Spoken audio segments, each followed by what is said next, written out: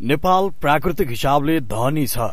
हिमाल पहाड़ र तराई गरी तीन भागमा विभाजन गरिएको यहाँको भूगोलमा विभिन्न प्रजातिका जनावर र पंक्षी पाइन्छन्। संरक्षणको अभावमा ती जनावर र पंक्षीहरूको चोरी तस्करी बढ़दो छ। चोरी तस्करी पर्ने पंक्षीमा लाटोकोसेरो तथा हुचिल प्रजातिका चरा पनि पर्दछ।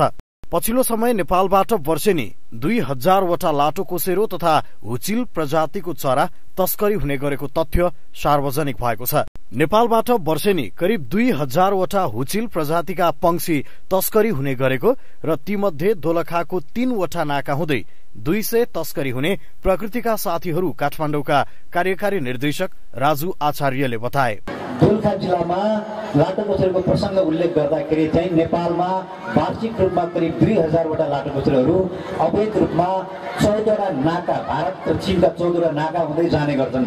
जसको लागि बत्तीसवटा मार्गहरू पहिचान गरिएको छ।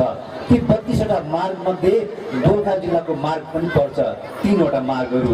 र दोलखा जिल्लामा मात्रै वार्षिक रूपमा दुई सयवटा लाटोकोसेरोहरू या त चिन या त भारतमा निकास हुने गर्छ।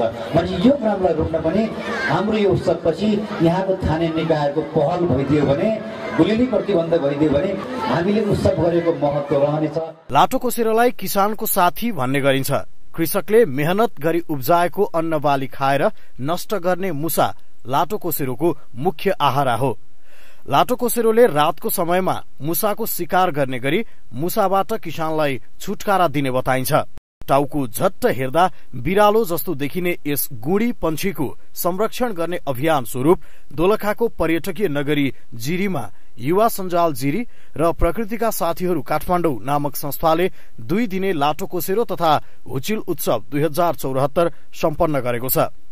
यस्ता उत्सवले लाठो कोसेरो मात्र नभई अन्य जंगली जनावर तथा पंक्षीको समेत संरक्षणमा टेवा पुग्ने गौरीशंकर संरक्षण क्षेत्रका प्रमुख सत्यनारायण शाहले बताए। र हामीलाई यो महोत्सवले स्वाभाविक रूपमा निकै टेवा पुगेको छ। किन टेवा पुगेको छ भने एक किसिमको एउटा होइन नेचर अफ फ्रेन्ड जुन संस्था र यहाँका स्थानीय युवाहरूको पहलमा जुन किसिमको यो महोत्सव भएको छ त्यसले हाम्रा भेगका स्थानीयवासी जनतालाई पनि एक किसिमको जनचेतना ए चरालाई मार्नु हुँदैन चिल्लाई मार्नु हुँदैन त्यसलाई होइन अवैध व्यापार गर्नु हुँदैनन् र त्यसबाट भयो भने त्यसको चाहिँ होइन कानुन कारवाहीको दायरामा होइन त्यसको ल्याउनु पर्ने हुन्छ। त्यस्ता चिजहरूलाई पनि एक किसिमको जनचेतना जगाएको। यसअघि विभिन्न जिल्लामा गरी छवटा उत्सव सम्पन्न गरिसकेको प्रकृतिका साथीहरू काठमाडौँले सातौं उत्सवका लागि जिरीलाई रोजेको हो। संरक्षणको अभावमा यो पंक्षीको चोरी शिकारी हुने गरे पनि यसको संरक्षणका लागि खासै पहल हुन सकेको छैन। त्यसैले यसको संरक्षणमा टेवा पुर्याउन र जिरीमा पर्यटकलाई जिरी भित्र्याउने उद्देश्यले उत्सवको आयोजना गरिएको युवा सञ्जाल जिरीका अध्यक्ष केन्द्र ज्योति खड्काले बताए। यो चाहिँ एउटा सेरो आफैमा दुर्लभ पक्षी हो पक्षी हो। र यसको संरक्षणको लागि